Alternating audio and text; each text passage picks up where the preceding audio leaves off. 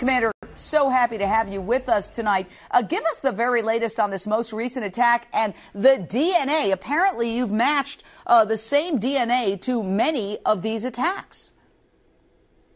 Yeah, the last attack was uh, June 15th of this year uh, when he uh, attempted to sexually assault a young woman uh, in the kind of in the mid south to downtown area. And we've got a total of now 11 DNA matches on this particular individual. Now, the thing we have is matches between the different cases. What we don't have is the match that's going to identify this guy. He has not been in uh, input into the nationwide database.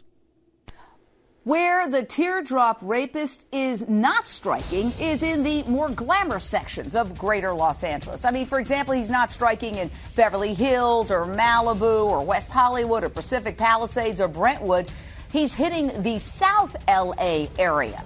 So uh, this is a ways away from the glitz and glamour that we normally associate with Southern California. And these women have often been targeted while waiting at bus stops in the early morning hours between 5:45 a.m. and 8 a.m.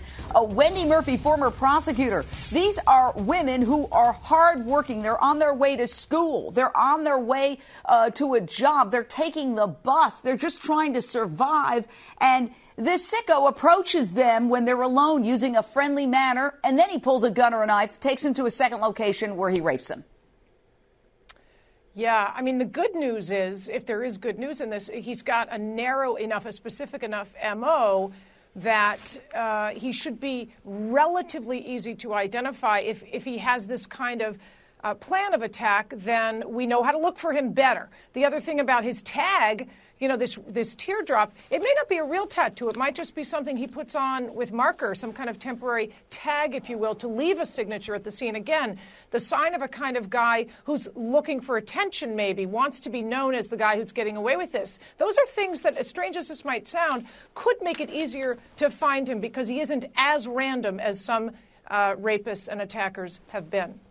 Raises an interesting question. Uh, why do these sketches look so different? Check these out. Some people, oh, in some of these sketches, he's thin. In others, he has a mustache, a hoodie. Uh, sometimes the teardrop is on the left eye. Sometimes it's under the right eye.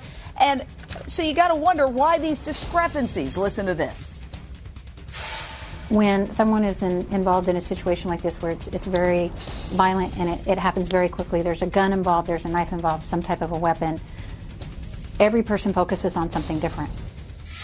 Um, I want to go to Miguel Marquez, CNN reporter who's been all over this story.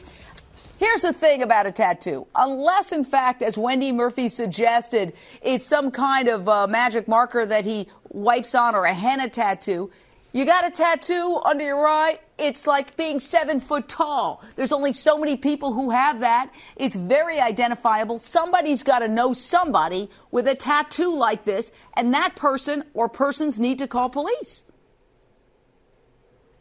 Well, sir, absolutely. The, the problem for a lot of these victims, though, it sounds like, is that he may have a tattoo, but he also may have a gun or a knife, and you're going to be focusing a lot more on that. And these are from every indication I have, very, very quick assaults, uh, lasting no more than 10 to 15 minutes, if even that, uh, moves them very quickly into an area. He may be, I mean, it does sound in some of these cases as though he may have sort of cased the area, watched the person for a day or two so he knew their, their, uh, their pattern of behavior, and then moved in very quickly.